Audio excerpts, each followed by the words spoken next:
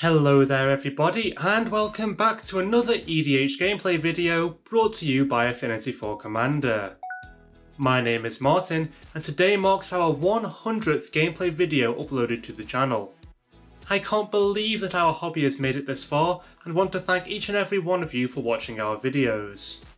It really means the world to us that you would take the time out of your day to watch our content, so thank you. And as always, I'd like to personally thank all of the absolutely incredible patrons listed on screen for their heartwarming generosity. We wouldn't be able to continue making videos such as these without your support, so thank you. Also, if you decide to make a purchase from any of these websites, then be sure to do so via our affiliate links in the video description. It won't cost you anything extra, but it really helps out the channel. And if you haven't already, then go and check out altersleeves.com, where you can find thousands of super cool designs on perfect fit sleeves to really bling out your decks. Just be sure to quote us as the ones who sent you. But that is enough of that. Let's take a look at those opening hands. I am playing my Edgar Markov Vampire Tribal deck which has experienced a number of upgrades since it last appeared on the channel. Never fear though, the deck still runs a hefty number of Lords and Anthem effects, as well as a heckload of removal spells for dealing with my opponent's pesky permanents. I keep an opening hand consisting of Swords to Plowshares, Legion Lieutenant, Commander's Sphere, Bloodline Keeper, Ash Barrens, Temple of Malice, and Temple of Triumph. Tim is playing his Lathril Blade of the Elves Elf Tribal deck, which aims to flood the board with as many nature-loving forest dwellers as physically possible. Yes, this deck focuses on strength in numbers and includes multiple board pumping spells to increase the army of weenies damage output. Tim keeps a starting hand of Elvish Mystic, Quirion Ranger, Sol Ring, Village Rite, Arcane Signet, Dark Confidant, and Forest. Newcomer to the channel Nev is playing his Phabine Boss's Confidant token production deck, which seeks to take full advantage of his commander's haste providing ability. Similarly to Tim, Nev looks to put as many creatures onto the battlefield as quickly as possible, however he also runs a respectable amount of disruption spells as well. Nev's starting hand contains Beast Within, Orzhov Advokist, Outpost Siege, a Plains, a Mountain, and two Forests. And finally, Stephen is playing as Reyhan, Last of the Abzan, and Ishai, Ojutai Dragon Speaker plus one plus one counters deck. Like most counter-focused decks, he has included a number of spells that increase the amount of counters his permanents can produce.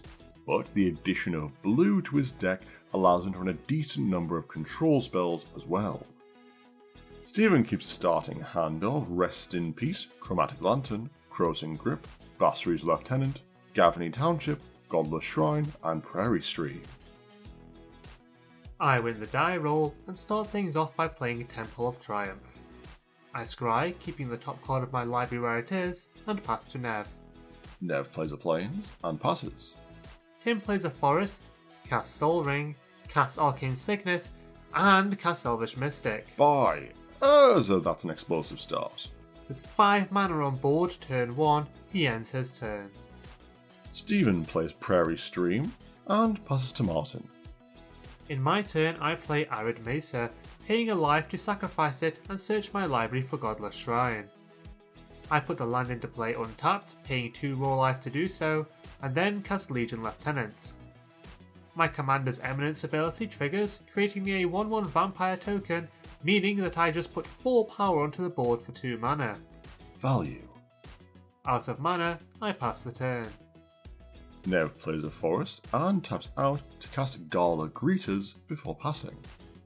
Tim plays a forest and casts his commander, Lathril Blade of the Elves.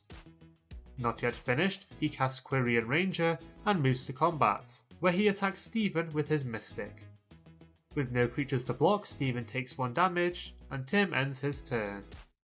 Stephen also plays a Godless Shrine, paying 2 life to have it enter untapped, and then cast Rest in Peace. R.I.P. Gideon. The fetch land in Martin's graveyard is exiled, and Stephen passed the turn to him. I begin my turn by playing a Temple of Malady and choose to keep the top card of my library where it is. Moving to combat, I attack Stephen with my lieutenant, dealing him 2 damage, and pass the turn. In his turn, Nev plays a mountain and then casts Orzhov Advokist.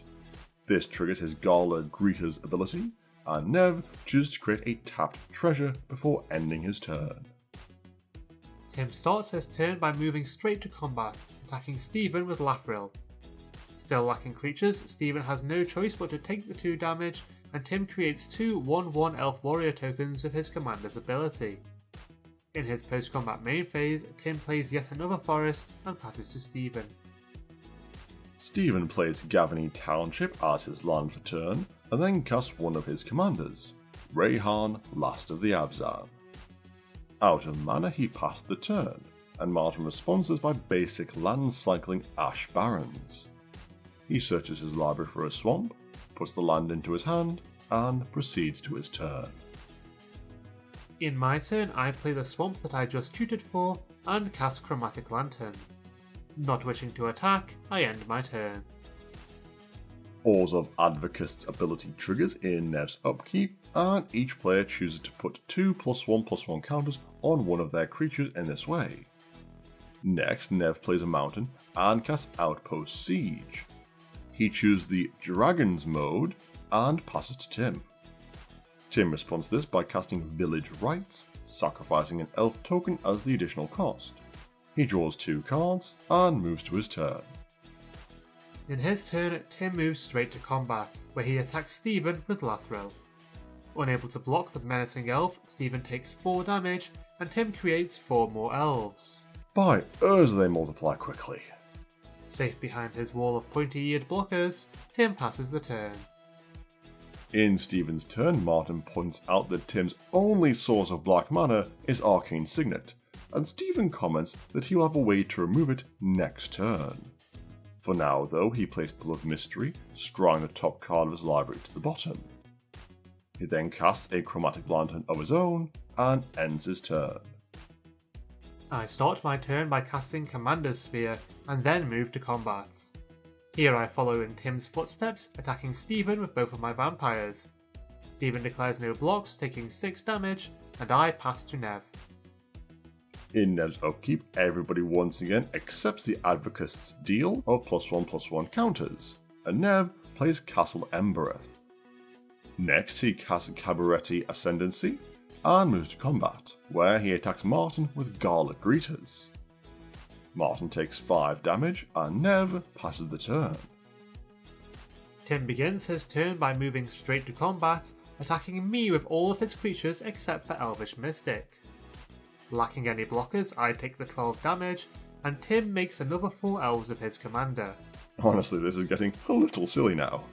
Once again keeping all of his mana open, Tim ends his turn. Stephen plays Sandsteppe Citadel as his land for turn, and staying true to his word, casts Krosan Grip.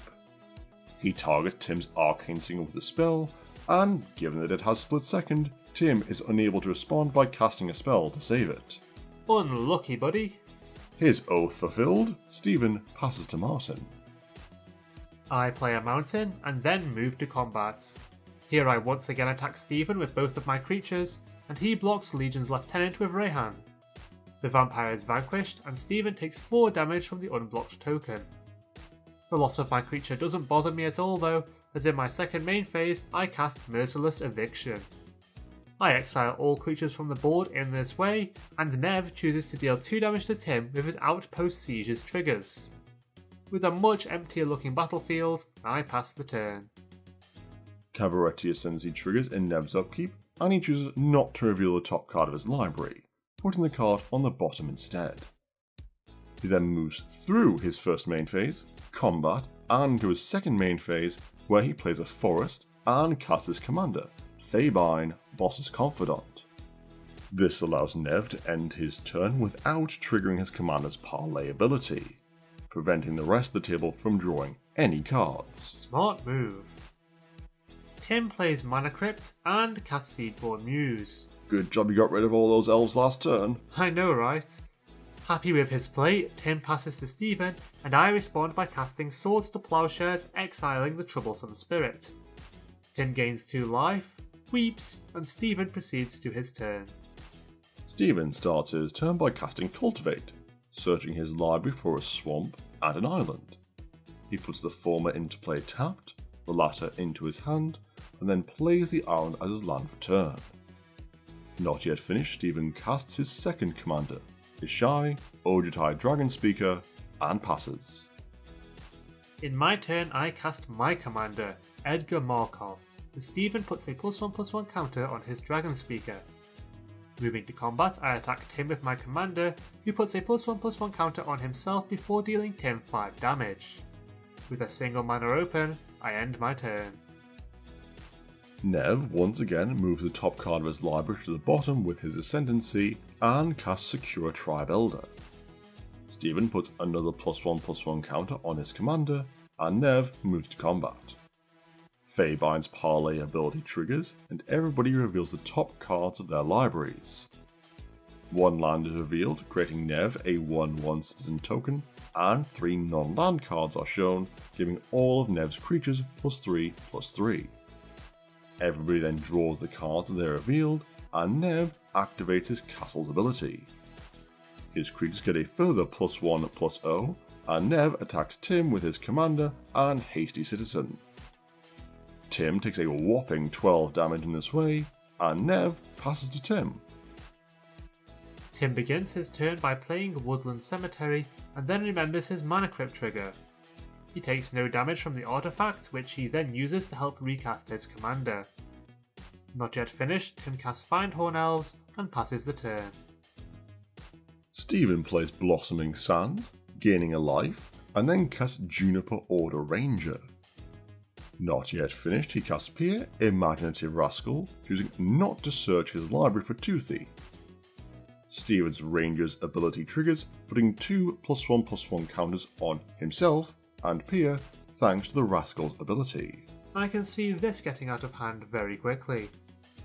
Moving to combat, Stephen attacks Nev with his Ishai, and unable to block, he takes 5 damage. Pleased with his board state, Stephen ends his turn.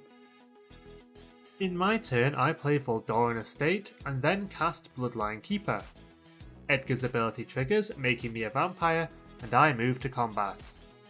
Here I attack Nev with Edgar, putting a plus one plus one counter on all of my creatures, and Nev blocks my commander with Sakura Tribe Elder. He then sacrifices the Snaky Shaman to its own ability, putting a Plains into play tapped from his library, and with nothing more to do, I pass to Nev. Nev looks at the top card of his library, leaves it where it is, and draws it. Next, he casts Grand Crescendo, where X is 6. He makes 6 1 1 citizen tokens, and all 8 of his creatures become indestructible until the end of his turn. Nev then moves to combat, and Martin responds to this by casting Crackling Doom. Not wanting to lose his commander yet again, Tim responds to this by casting Might of Old Krosa, targeting his Findhorn Elves. With that out of the way, Nev, Tim, and Stephen all take 2 damage, and Phabine, Findhorn Elves, and Ishai are all sacrificed. Two commanders dealt with for only 3 mana? Don't mind if I do. Outpost Siege then triggers, and Nev has it deal Martin 1 damage. Devastated by the loss of his commander, he passes the turn. Tim once again succeeds his Mana Vault trigger and casts Priest of Titania. Next he casts Elvish Archdruid and ends his turn. Stephen starts his turn by casting Ghave, Guru of Spores, who ends with 8 plus 1 plus 1 counters thanks to combined effects of Pir and Juniper Order Ranger. The Ranger also gains 2 plus 1 plus 1 counters, and Stephen moves to combat, where he attacks Nev with the aforementioned Knight. Nev blocks the single citizen, taking 0 damage and dealing 1 damage to Stephen with Outpost Siege. With 4 mana open, Stephen passes to Martin. In my turn, I play Marsh Flats and immediately pay 1 life to sacrifice the land and put a plains into play from my library. Next, I cast Herald's Horn, naming Vampire, and then cast Olivia, Crimson Bride. Only Rest in Peace hadn't exiled your whole graveyard. Ugh, don't remind me. I make a vampire token and move to combat, where I attack Nev with Edgar and Steven with Olivia and Bloodline Keeper. Edgar puts a plus one plus one counter on each of my vampires, and Nev blocks my commander with a single citizen. Before damage occurs, I activate my Keeper's ability, transforming him into Lord of Lineage. This gives my vampires plus 2 plus 2, and Steven takes 13 damage. Talk about a near death experience. Nev deals 1 damage to me with Outpost Siege, and pleased with my position in the game, I pass the turn. Cabaretti Ascendancy triggers in Nev's upkeep, Arnie puts Master of Ceremonies into his hand from the top of his library in this way. Next, he recasts Phabine and moves to combat. Everybody parlays, revealing the top cards of their libraries to be two lands and two non-land cards, and Nev makes two citizens as a result of this. All of his creatures then get plus 2 plus 2, and Nev swings all 7 of his tokens at Martin. How rude.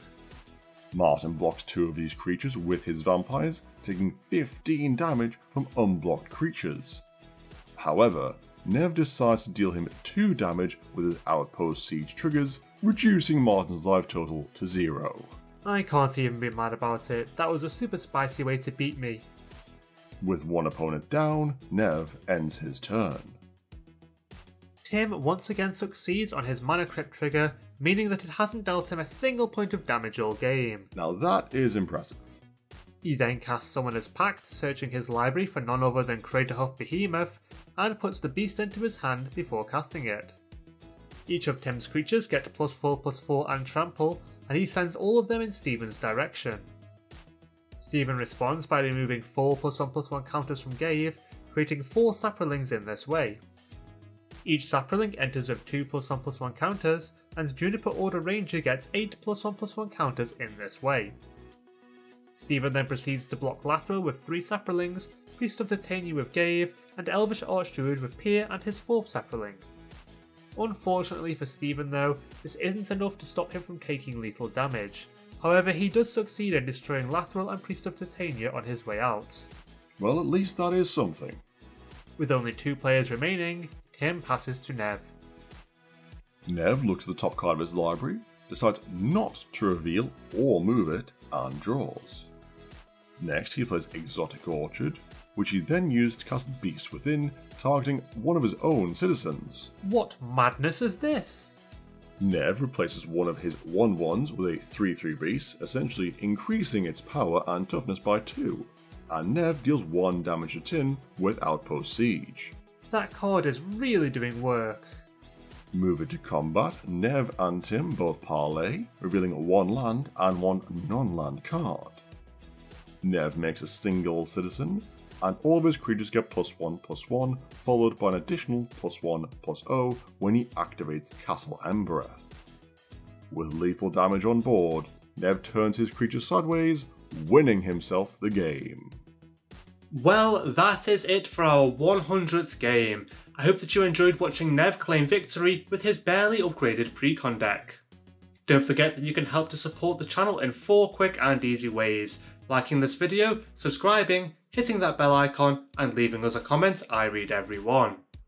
And if you really like us, then consider checking out our Patreon page, where you can find exclusive rewards such as custom tokens and playmats for as little as a dollar a month. That's it for now though everyone, we'll see you next time. Stay awesome!